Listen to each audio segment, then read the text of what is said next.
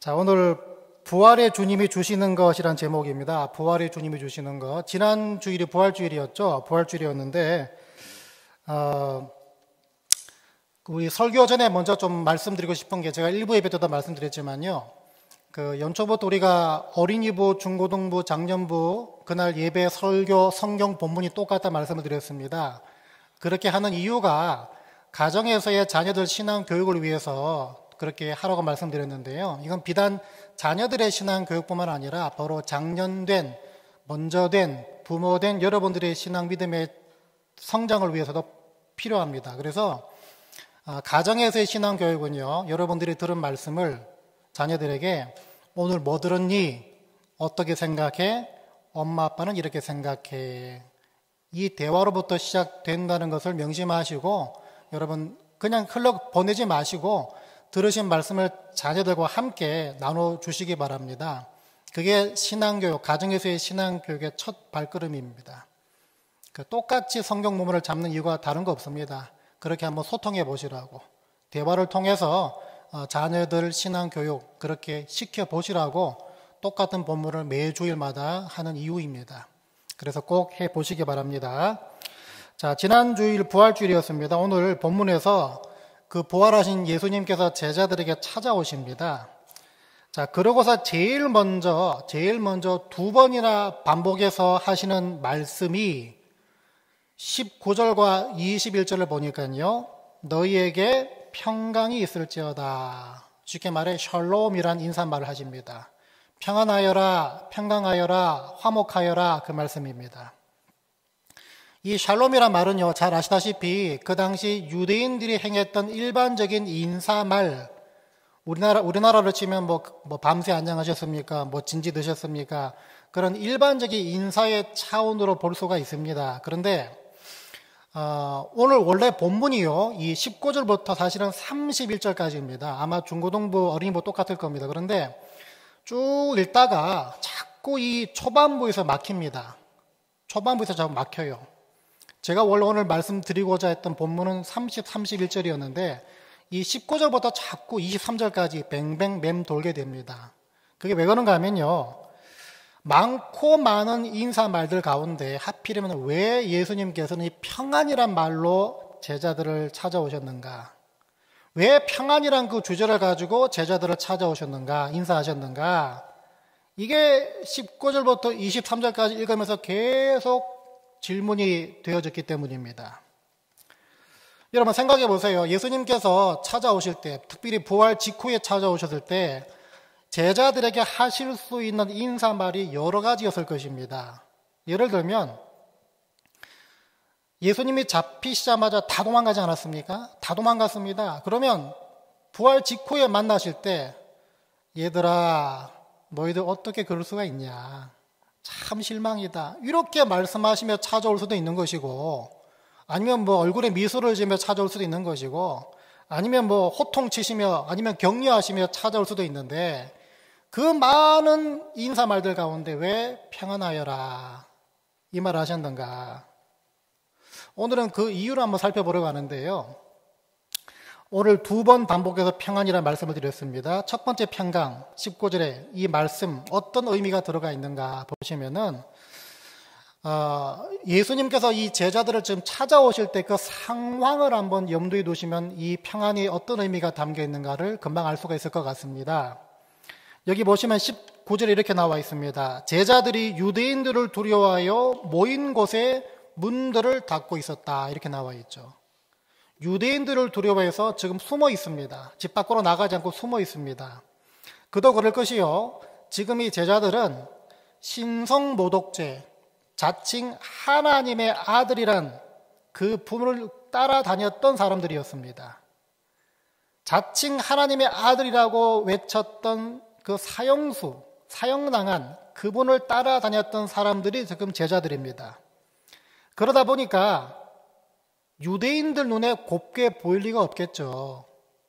유대인들이 예수를 십자가에 못 박았기 때문에 그 예수를 추정했던 사람들을 당연히 곱게 볼 리가 없습니다. 그러다 보니까 지금 집안에 숨어 있다는 것이겠죠. 더군다나 여러분, 이 예수의 신성 모독죄라고 그 죄목을 붙인 사람들, 십자가로 몰아간 사람들이 누굽니까? 유대인들이었는데 그 유대인들 가운데 속에서도 이 산해드린, 산해드린이라는 그 공의회, 뭐 최고 법정, 뭐 종교 법정이라고도 말할 수 있겠지만요. 그 기, 관에서요, 그, 이 사람들, 예수를 그리스도로 신하는 모든 사람들은 유대교에서 출교하겠다. 출교하겠다. 라고 공포한 상황이었습니다. 그러다 보니까 출교 안 당하기 위해서라면, 출교 안 당하기 위해서라면은 눈에 떼는 안 돼, 눈에 떼서는 안 되겠죠. 숨어 있어야 됩니다. 이 제자들은 불안해하며 숨 죽인 상태에서 지금 숨어 있는 것입니다. 자, 상황이 그런 상황에서 부활의 예수님이 찾아오셔서 그 상황에 처한 제자들한테 평안하거라. 이 말이 뭐겠습니까? 이 상황, 이 처지 속에서도 너희를 절대로 두려워하거나 절대로 염려하거나 무서워하지 말아라. 걱정하지 말아라. 라는 그 의미가 담겨 있다는 것입니다. 두 번째요. 21절의 평안. 이 평안의 의미는 조금 다릅니다. 이 두 번째 평안의 말과 함께 묶여 있는 것이 어딘가 보니까요. 바로 뒤에서 하신 말씀입니다. 21절 그 평안하거라 말씀 바로 뒤에서 무슨 말씀 하십니까? 아버지께서 나를 보내신 것 같이 나도 너희를 보낸다라는 말씀을 하십니다. 이 말이 뭐겠습니까? 이 제자들이 앞으로 감당하게 될 복음 전도, 복음 사역을 말하고 있는 것이겠죠. 그런데 아시다시피 그 시대 그 상황 속에서 예수를 전한다. 복음을 전한다. 무슨 말이겠습니까? 고난과 핍박과 환란을 받게 된다는 것이겠죠. 그게 동반됩니다. 예수님께서는 그걸 지금 알고 계십니다. 그래서 이 두 번째 평안은요, 두 번째 제자, 제자들에게 전하는 평안은 앞으로 제자들이 경험하게 될 그 험한 상황들, 이걸 염두에 두고 하신 말씀 평안이라는 것입니다. 그러니까 앞으로 맞닥뜨릴 어떤 상황 속에서도 너희들은 평안해야 된다, 평안할 수 있다, 그 차원의 의미로 볼 수 있다는 것입니다. 자, 19절의 평안과 21절의 평안 말씀하셨는데 중요한 것은요, 지금 예수님께서는 이 평안을 그냥 말로만 하신 게 아니었습니다. 말로 누구나 할 수 있습니다. 근데 예수께서는 이게 말로만 하신 게 아니었습니다. 바로 뒤에 따라오는 22절을 보니까요. 이 말씀을 하시고 그들을 향하사 숨을 내쉬며 이르시되 성령을 받으라 라는 말씀하십니다. 성령을 받으라. 창세기 보면 하나님께서 우리 사람을 창조하실 때 생명을 집어넣으셨다. 그 말과 일맥상통합니다. 성령을 받으라. 성령을 받으라. 자, 그러면 이 말씀을 하신 이상 조금 이상한 부분이 좀 발견됩니다. 어떤 부분인가 하면요. 여러분, 제자들이 실제로 성령을 받은 때는 언제였습니까? 지금 이 자리 이 시간이 아닙니다. 나중에 사도행전으로 가면, 그러니까 이 예수 부활 이후에 한 40일 훨씬 넘어서 사도행전 2장에 가서야 제자들이 성령을 받지 않습니까? 근데 지금 이 말은 지금 마치 지금 이 시간 이 자리 부활의 예수께서 제자들을 찾아오신 그 현장에서 성령을 주시고 받는 것처럼 이렇게 말씀하고 계시는데 그래서 좀 이상하다라 느낄 수가 있습니다. 그런데 이 말은요. 이 행위는 사실 그 약속한 성령을 주실 것에 대한 주실 것에 대한 상징적인 행위라는 것입니다. 쉽게 말하면요. 이렇게 행동하심을 통해서 이 사람, 이 제자들이 앞으로 성령 받을 것을 기대하게끔 만드시는 행위라는 것입니다. 그러니까 지금 당장 성령 주시는 것이 아니라 앞으로 성령을 받을 거야 라는 말씀을 하신다는 것입니다. 그래서요, 여러분, 19절과 21절에 나왔던 그 평안, 쉽게 말하면 두려움 가운데서 평안할 수 있고 복음 전파하다가 핍박받고 환란받고 박해받더라도 평안할 수 있는 그 이유, 그 능력은 어디서 온다? 장차 너희들 안에 내주하실 성령 그 하나님으로부터 온다는 것을 지금 말씀하신다는 것입니다. 쉽게 말하면 그냥 평안하거나 말하지 않으셨다는 것입니다. 성령이 앞으로 내주하실 것인데 그 성령이 바로 너희들로 하여금 두렵고 힘들고 무서운 상황 속에서도 그리고 복음 전하다가 핍박받은 상황이라도 여전히 평안할 수 있게 만들어 주시는 분이라는 것입니다. 그걸 말씀하시고 그걸 제자들로 하여금 기대하게끔 만드시는 장면이 바로 오늘 본문의 모습들, 모습들입니다. 자, 결국요, 결국 부활 직후의 제자들에게, 이 제자들에게 제일 먼저 꺼내신 이 두 가지 말씀, 두 가지 평안 통해서 뭘 알 수 있겠습니까?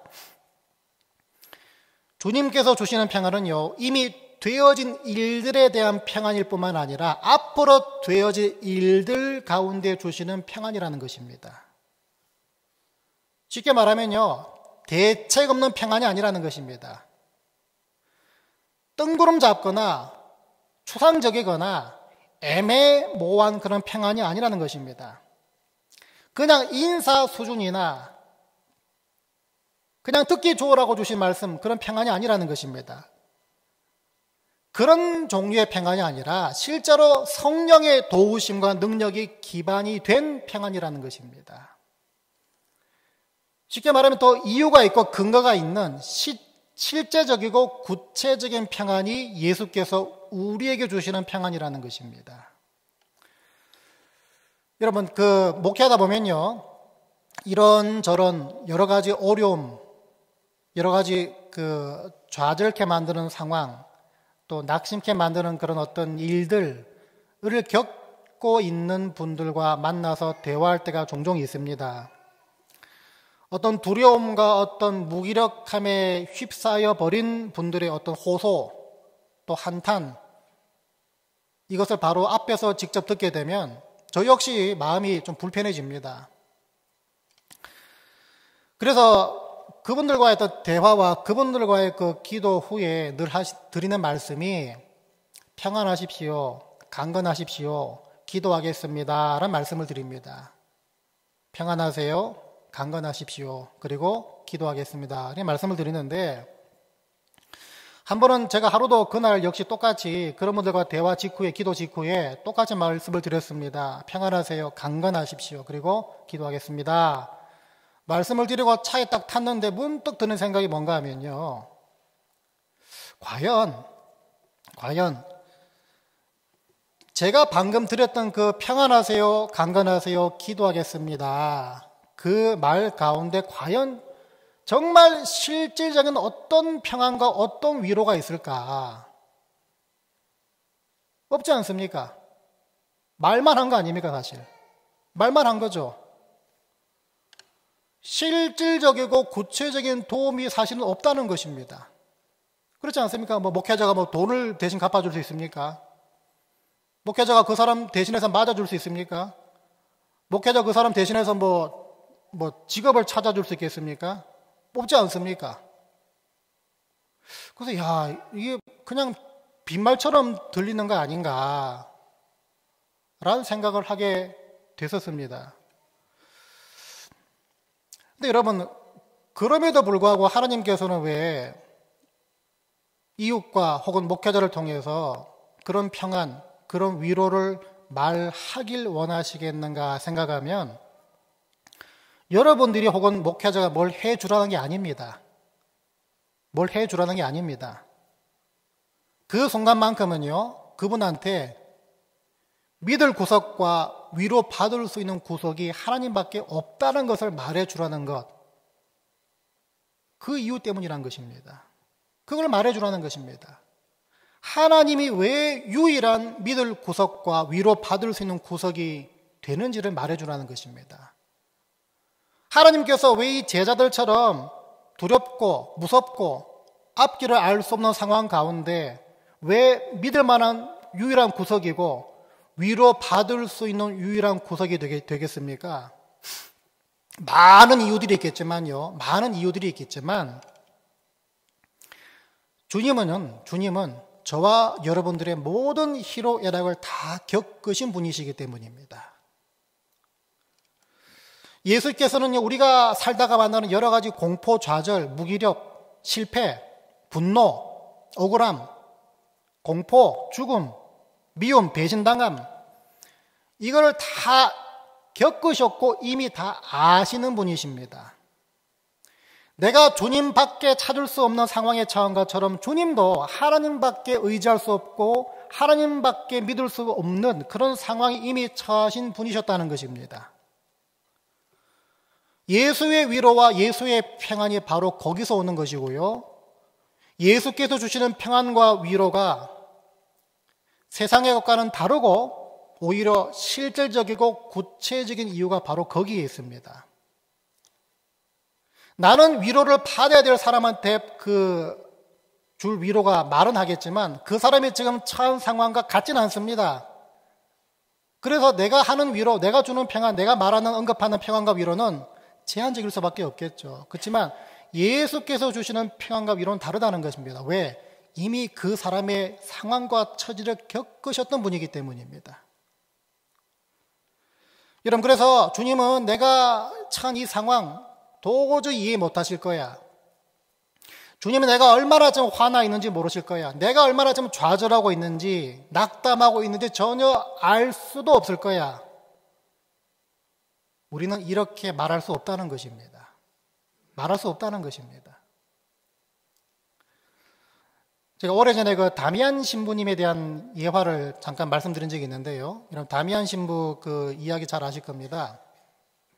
그 하와이 쪽에 가면은 그 섬들이 많이 있지 않습니까? 그 섬들 가운데 다섯 번째로 큰 섬이 그 몰로카이라는 그런 섬이 있다고 합니다. 몰라카이.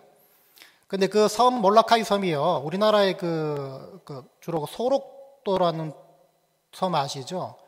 그 지금으로 말하면 그 한센병 환자들이 모여 사는 옛날 말하면 나병 환자들이 모여 사는 그런 섬이 소록도인데 이 몰로카이 섬도 똑같습니다. 그 나병 환자들이 모여 사는 섬이 몰로카이 섬이었는데 이 다미안 신부님이 그 섬으로 들어가셔서 그 나병 환자들을 돕고 섬기는 그런 어, 사역을 하고 계셨는데 하루는 그날 밤도 이제 미사를 마치고 다 돌아가고 있는데 우연찮게 나병 환자 두 명이 앞에서 걸어가고 있고 그 두 환자가 서로 대화 나누는 것을 바로 뒤에서 우연히 다미안 신부님이 듣게 되셨는데 한 환자가 이렇게 말하더라는 것입니다. 이보게 오늘 저 다미안 신부님 말씀이 정말 은혜롭지 않던가 이렇게 물어보니까 다른 한 환자가 듣고 있다가 글쎄 다미안 신부도 우리 같은 처지라면 과연 그렇게 말할 수 있을까? 이렇게 반문하더라는 것입니다. 그 대화를 뒤에서 우연찮게 들은 다미안 신부님이 돌아가셔, 집으로 돌아가셔서요. 그날 밤에 잠을 이루지 못했다고 합니다.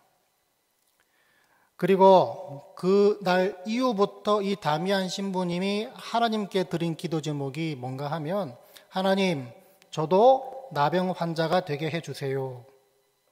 하나님, 저도 나병 환자가 되게 해주세요. 라는 기도 제목이었고, 실제로 다미안 신부님이 나병에 걸리셨고요.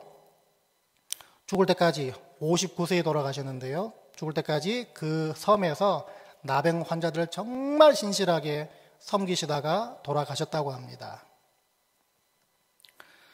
여러분, 다미안 신부님이 그 나병 환자들을 돌보실 때 그날 이전과 그날 직후의 그 돌보심과 그 격려와 그 위로와 그 평안을 주는 그 모습들이 나병 환자들이 느끼기에는 똑같았겠습니까? 분명히 달랐을 것입니다. 분명히 다를 수밖에 없습니다. 그날 이후에 이 나병 환자들을 돌보시는 그 다미안 신부님의, 신부님의 그 돌보심과 격려와 위로와 구체적인 그 섬김의 손길, 거기는요, 힘이 있을 수밖에 없습니다. 능력이 있을 수밖에 없습니다. 왜? 그 신부님이 나병 환자가 되셨기 때문입니다. 하나님께서 그렇게 쓰신 것이죠. 하나님이 여러분들에게 주시는 위로 똑같습니다. 우리가 살다가 여러 가지 한탄과 탄식, 어떤 절망 섞인 어떤 그 부르짖음, 아니면 불편과 비난을 쏟아낼 때가 굉장히 많습니다. 지금 나와 내 가정의 상황과 형편을 하나님은 절대 모르셔. 관심도 없으실 거야. 알고 계시다면 관심이 있으시고 주목하고 계시다면 어떻게 나와 내 가정에게 이런 일이 발생할 수가 있냐. 그래서 하나님은 사람들의 연약함이 만들어낸 그냥 추상적인 허구의 신일 뿐이야. 라고 한탄하고 비난하고 불평하고 많이 있습니다. 심지어 믿는 사람들한테도 그런 불평과 그런 한탄이 터져 나올 때가 있지 않겠습니까? 그런데 똑같은 제자들의 상황입니다. 그때 하나님께서 원하시는 것이 무엇이겠습니까? 바로 여러분들의 평안이란 것입니다. 평안. 그 불평과 그 비난과 그 좌절은요, 오히려, 아, 내가 하나님께서 주시는 평안을 경험할 기회구나, 라고 보셔야 합니다. 그런데 그 평안이 실질적이고 구체적이고 구체적인 능력이 될 수 있는 이유는 무엇이겠습니까? 주님도 그 상황에 거하셨, 다는 다시 말해 성육신 하셨다는 그 사실, 바로 거기서 옵니다. 지금까지 말씀드린 것을요, 성경이 정확하게 뭐라고 말하나 보니까 히브리서 4장 15, 16절을 제가 읽어드리겠습니다. 우리에게 있는 대제사장은 우리의 연약함을 동정하지 못하실 이가 아니요 모든 일에 우리와 똑같이 시험을 받으신 이로되 죄는 없으시니라. 그러므로 우리는 극률하심을 받고 때를 따라 돕는 은혜를 얻기 위하여 은혜의 보좌 앞에 담대히 나갈 것이니라. 이렇게 말합니다. 극률하심을 받고 때를 따라 돕는 은혜를 얻기 위하여 담대하게 담대하게 주님의 은혜 보좌 앞에 나갈 것이니라. 여러분 군대 갔다 오신 남성분들은 다 아시겠지만요. 군 생활 가운데 얼마나 고달픈 일이 많습니까? 힘들고 억울하고 참 말도 안 되는 상황 때문에 뭐 꾸중받고 뭐 얼차려 받고 두드려 맞고 그런 일 많이 있지 않습니까? 그런데 그 모든 것조차도 그냥 흘려 보낼 수 있는 이유, 다시 말해 그냥 꾹 참고 그냥 평안할 수 있고 그냥 견딜 수 있는 이유들이 많이 있겠지만 특별히 그 가운데 내 옆에 있는 동기들이 그렇게 위안이 됩니다. 그렇게 위로가 됩니다. 힘이 되어 줍니다. 그렇다고 동기들이 내 문제를 뭐 직접 다 풀어주는 것도 아닙니다. 그렇다고 동기들이 내가 지금 맞닥뜨리고 있는 어려움들을 다 피하게 만들어 주는 것도 아닙니다. 그런데 오직 유일한 한 이유, 나와 같은 처지라는 것. 나와 같은 처지라는 것, 그 사실 하나가 희한하게 버티게 만들어주고 참게 만들어주고 위로가 되어주고 견뎌주게 만들어줍니다. 똑같은 경험을 할 때가 있는데요. 목사님들이 모이는 어떤 뭐 수련회나 어떤 컨퍼런스 갈 때가 있지 않습니까? 그러면 생명부지의 목사님들을 만나더라도 대화하다 보면은 이게 참 설명할 수 없는 평안 위로를 또 힘을 받게 됩니다. 왜 그런가 하면요. 목회하다 경험하게 되는 어떤 뭐 실패, 어떤 걱정, 뭐 불안함, 심지어 어떤 부끄러움, 이걸 서로 나누다 보니까, 어? 나만 그런 게 아니었네. 나만 그런 게 아니구나. 이 사실이 정말 묘한 위로를 주기 때문입니다. 어떤 경우는 야 나보다 더 하네.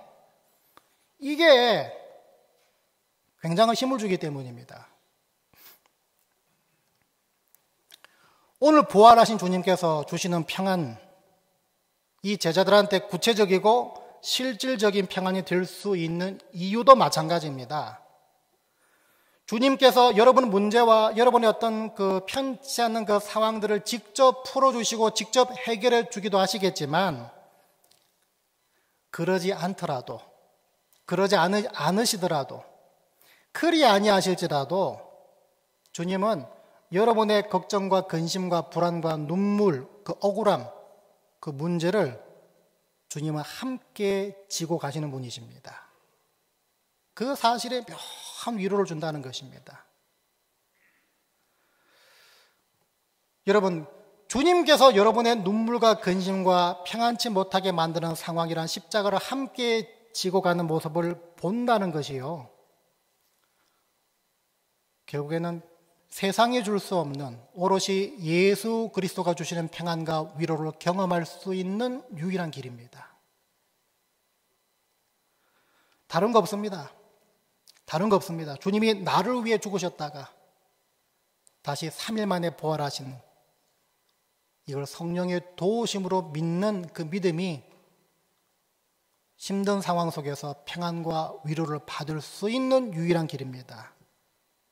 그 역사적 사실과 역사적 사건이 남의 일이 아니라 나를 위한 일이었음을 이것을 인정하고 믿는 그 기본으로 돌아가서 그 대속의 과정 하나하나 가운데 어떤 의미가 깃들어 있는지 이걸 묵상하다 보면요. 아, 평안할 수밖에 없구나. 위로받을 수밖에 없구나. 이거를 경험하게 된다는 것입니다. 여러분, 주님께서 여러분들을 위해 대신 지신 그 대속의 과정 하나하나에 뭐가 깃들어 있습니까? 그 묵상하다 보면 어떤 것이 떠오릅니까? 예전에 이런 글도 읽지 않았습니까? 주님께서 침뱉음을 당하셨습니다. 왜 침뱉음을 당했는가? 내 입술로 범한 죄 때문에 침뱉음을 당하셨고요. 주님께서 채찍으로 맞으셨습니다. 왜 맞으셨습니까? 여러분 몸으로 지은 죄를 대신 대신 지시기 위해서 채찍이 맞으셨죠. 가시 면류관 쓰셨습니다. 여러분이 생각으로 지은 죄들도 사시기 위해서 가시 면류관을 쓰신 것이겠죠. 손에 못 박히셨습니다. 여러분 손으로 지은 죄, 발에 못 박히셨습니다. 가서는 안 될 곳으로 여러분들 발걸음 옮긴 그 죄. 모든 죄를 사하시기 위해서 다 지나가셨다는 것입니다. 이런 모든 억울함과 배신당함과 주께서 버림받으신 그 상황도 바로 여러분들의 겪게 될 혹은 겪어오셨던 배신과 슬픔과 억울함, 이걸 위해서 대신 지셨다는 것입니다. 이게 믿어지는 것이 믿음입니다. 성령의 도우심으로 이게 믿어지는 것이 믿음이고요. 그 믿음으로 여러분의 불편한 상황들을 뛰어넘는 것이 바로 내가 주님 주시는 평안과 위로를 지금 받고 있구나 확인하고 증명할 수 있는 방법이란 것입니다. 바라기는요, 그런 예수를 믿는 믿음을 구하시고 그 믿음을 여러분 선물로 받게 되시길 바랍니다. 그래서 힘들고 어려운 상황 속에서요, 예수께서 여러분한테 너도 그러냐? 나는 더 했다. 그래서 내가 네 마음 잘 안다. 그런데 지나고 나면 별거 아니더라. 나와 함께 견디자. 나와 함께 뛰어넘자. 내 이름으로 잘 통과하거라. 여러분 그 음성을 듣게 되시기 바랍니다. 그게 묘한 설명할 수 없는 세상이 줄 수 없는 평안과 위로로 여러분한테 다가올 것입니다. 여러분 삶, 개인과 가정 가운데 지금 평안할 수 없고 분노하거나 실망하거나 좌절하거나 걱정하거나 근심하거나 불안하거나 두려워하는 그런 상황 지나고 있는 분들 계십니까? 오늘 본문 말씀을 깊이 묵상하시면서 왜 주님께서는 두려움에 떨고 있는 제자들을 찾아오시면서 평안이라 말을 두 번이나 하셨는가? 왜 성령을 언급하셨는가? 이걸 깊이 묵상하시면서 주께서 문제를 풀어 주실 수도 있고요. 그 문제는 그대로인데 그 문제를 바라보는 여러분의 생각과 시각을 또 바꿔 주실 수도 있는 분이십니다. 하지만 그 과정 가운데 항상 세상에 줄수 없는 평안과 위로가 있다는 것을 명심하셔서 그 평안과 위로를 찾으시고 경험하게 되시길 바랍니다.